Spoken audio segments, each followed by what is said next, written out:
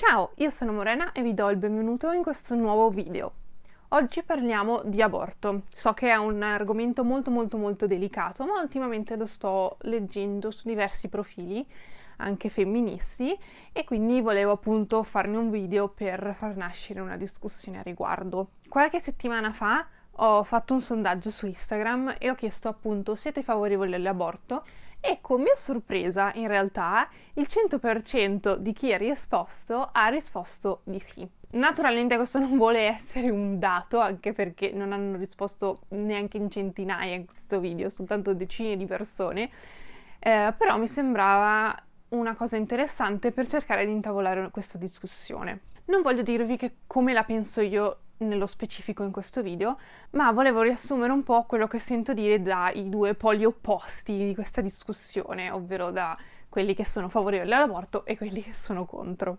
Per la scienza un embrione non è un bambino, motivo per il quale si può abortire entro i tre mesi di gravidanza. La possibilità di abortire quindi non è più reato e più precisamente lo è dal 22 maggio del 1978 grazie alla legge 194. Tante persone però sono ancora non favorevoli a, all'aborto, questo perché pensano sostanzialmente che un embrione effettivamente sia ancora una vita e ponendo fine alla crescita di questo embrione eh, si pone fine anche all'esistenza di questo bambino e quindi all'uccisione di questo essere umano. Questa è una decisione che viene detta sempre religiosa, anche se secondo me non è sempre così, perché non si accenna tanto all'anima, all'anima che Dio ha deciso di mettere dentro il grembo di una donna, un'anima da salvare, ma viene proprio detto che un embrione è scientificamente un grumo di cellule che si mette insieme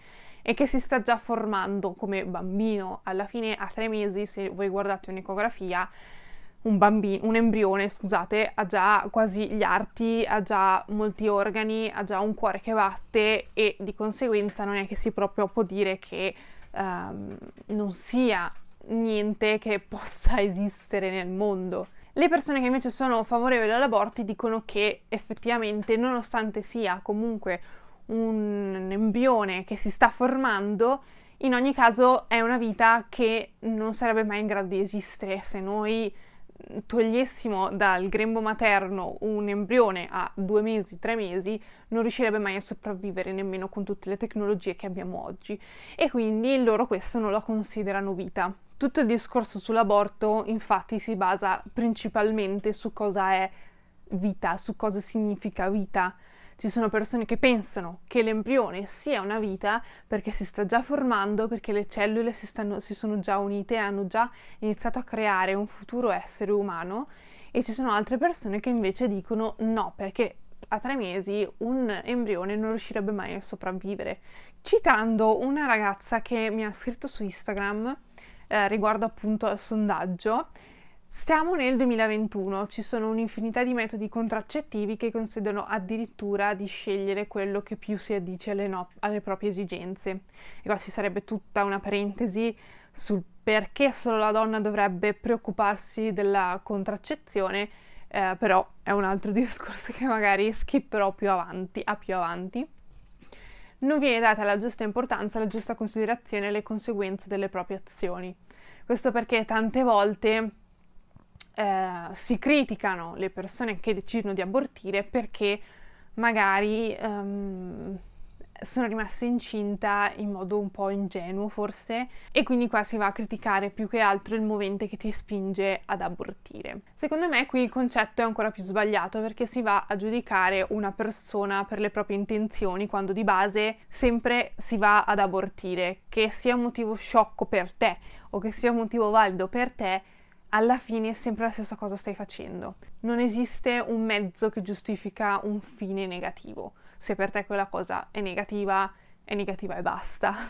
Infatti io non mi sento in giudicare affatto nessuno che sceglie di abortire. Io credo che lo farei, Anzi, una volta ho rischiato di rimanere incinta, ero terrorizzata, terrorizzata da morire. Ho mandato il mio ragazzo a prendermi il test perché mi vergognavo da matti e avevo paurissima e penso che sicuramente avrei abortito se fossi rimasta incinta perché io e i bambini siamo due mondi completamente opposti e oltre ad essere infelice io sarebbe stato infelice sicuramente il bambino perché non gli avrei mai dato l'amore che un figlio meriterebbe dalla propria madre o dai propri genitori in generale. Quindi il mio motivo sarebbe stato forse sciocco perché non, non mi è successo niente, non sono stata violentata, non è successo niente per cui il mio aborto sarebbe stato sensato secondo alcune persone, ma lo avrei sicuramente fatto, credo quasi al 99% avrei preso quella scelta. Quindi non mi sento di giudicare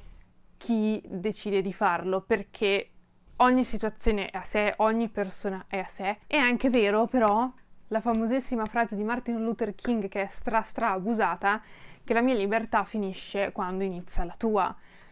E se noi intendiamo un embrione come una vera e propria vita che sta crescendo e che si sta evolvendo all'interno della nostra pancia, del nostro utero, allora le argomentazioni non si possono semplicemente fermare al il corpo è mio, faccio quello che voglio io perché ok, è vero che io sono la donna, io devo partorire questo bambino, ma dentro di me c'è qualcun altro, anche se non può parlare, anche se non può esprimersi, non può piangere, non può dispiacersi, io comunque sto scegliendo per qualcun altro.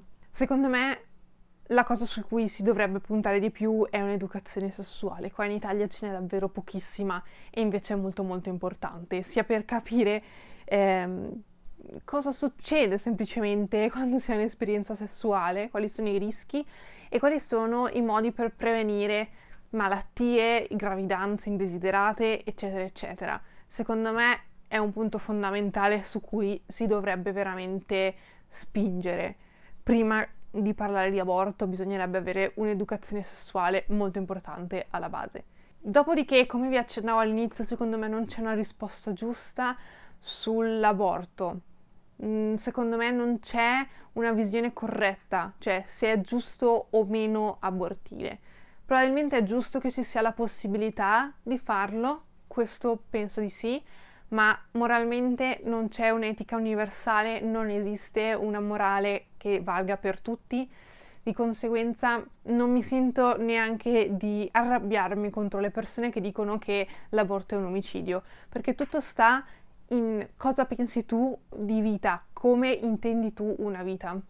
Probabilmente questo video è molto confusionario perché ho cercato di portare avanti le due tesi insieme, eh, proprio perché non volevo darne semplicemente una, ma volevo aprire un attimo una discussione, quindi vorrei sapere che cosa ne pensate voi a riguardo dell'aborto, se pensate che, che sia giusto, che sia sbagliato. Mi interesserebbe davvero molto sapere il vostro parere a riguardo, sempre con toni pacati, perché mi rendo conto che è un argomento un po' forte forse cui, su cui discutere. Uh, come sempre trovate sotto nell'info box tutti i link ai miei social, quindi Instagram, eh, trovate anche la mail e eh, l'account su Goodreads, perché mi piace moltissimo condividere con voi le letture che faccio. E niente, vi mando un grossissimo bacione e ci vediamo al prossimo video. Ciao!